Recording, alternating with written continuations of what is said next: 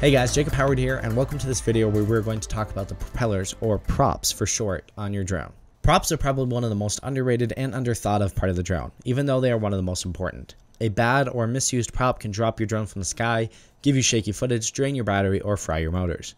It is very important to have the right props for your drone, and in this video we will cover what you need to look for and why each part matters. Props for drones come in many shapes, sizes, and materials. They can range from 2 inch props with 2 blades to 7 inch props with 3 blades. The two components of a prop are its hub and blade. The hub is the center part here that mounts to the motor of your drone, and the blade is the part that protrudes out and performs the rest of the work. No matter the prop size, shape, or material though, its primary function is to provide the drone with its thrust or lift. On drones, you must have both clockwise and counterclockwise props. Like the tail rotor on a helicopter that counteracts the spinning force of the main rotor, the clockwise and counterclockwise directions on a drone counteract each other to keep the drone flying straight and level. On a drone, the props spin clockwise and counterclockwise and act like something called an airfoil.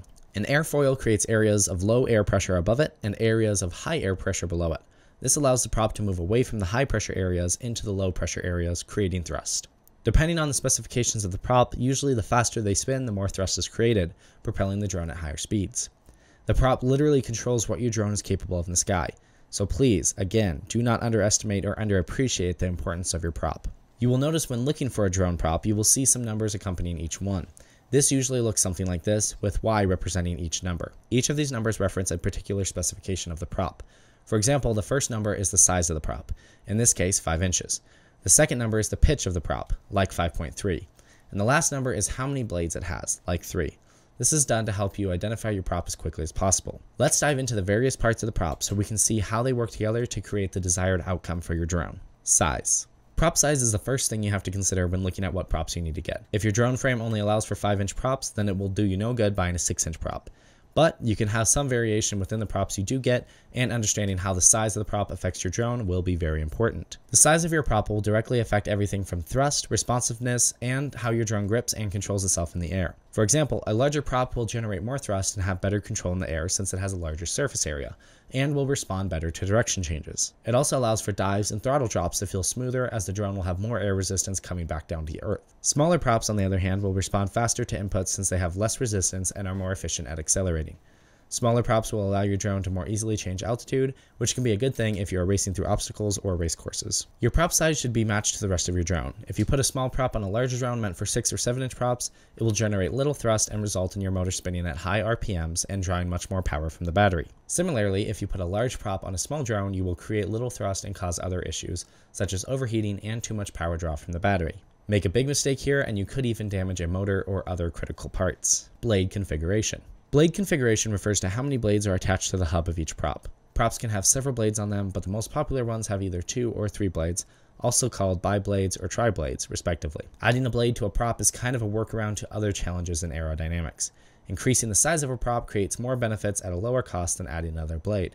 However, since drones have become so small, increasing the size of the prop is not an option, so adding a blade is the next best option to achieve higher thrust and control in the air. You will sacrifice some of the reaction time and more of your battery as it will consume more power. Tri-blades are the most common prop used for freestyle droning, but several racers use bi-blades since they offer faster reaction times and are more efficient. These are usually utilized on ultra lightweight drones that do not require as much of the thrust that a tri-blade will give. For the most common drones and uses, a tri-blade will be what you want to go with as they provide the best balance between the most important aspects of flying. This isn't to say that 4 or even 5 blade props don't have their use, just not what most people will use them for. They accommodate very specific flying styles and expertise. One blade configuration called 3D props even allows you to fly upside down as the blades will reverse direction and provide thrust in the opposite direction. I wouldn't recommend these props for a beginner though. Pitch. Pitch is the angle of each of the blades on the prop. When a revolution is put on a prop, the pitch determines how far it will move forward. A prop with higher pitch will look like this and usually look taller. A prop with lower pitch will look like this and usually look shorter. To illustrate, this prop here has a pitch of 5.3 inches. That means in a perfect world testing scenario, it would move 5.3 inches forward every revolution. A prop with a 3 inch pitch would then move 3 inches every revolution, so on and so forth. Now, you can probably see right away that a higher pitch prop is going to give you more speed, and you'd be correct, but it sacrifices other things. A high pitch prop gives you more speed and thrust, but less low end torque. Imagine if you had your bike set to a high gear. It is great for speed, but not as good at giving that extra push on difficult terrain or quick turns. High pitch props also respond to inputs slower and use more of your battery power.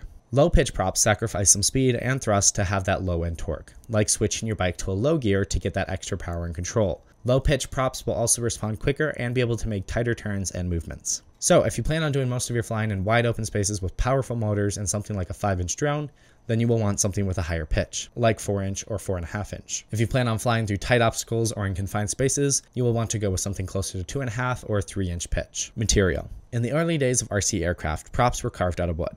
As technology progressed, so did the materials and designs for props. It went from wooden props to an array of carbon or fiberglass reinforced plastic, carbon fiber props, and polycarbonate props, and mixes of nylon carbon composite props. Each of these different props have their benefits, but the main things to think about are how flexible or rigid the props are. A prop that is completely rigid is going to be more true to a correct flying shape no matter how fast it is going, which will yield better control of the drone. But if and when you crash, it is more likely to break, meaning a rising cost in supplies starting out. A rigid prop is also an issue if it doesn't break or bend when it crashes. A prop is attached directly to the motor. If it hits the ground spinning and doesn't break, that force will go somewhere, often to the motor, which means instead of a $1 to $2 prop change, you might be looking at a 10 to $30 motor change. A prop that is very flexible, however, will not hold its shape as well in high speed or severe changes in direction. But if it crashes, it will most likely just bend the prop and take most of the impact, saving your motor, frame, and other components.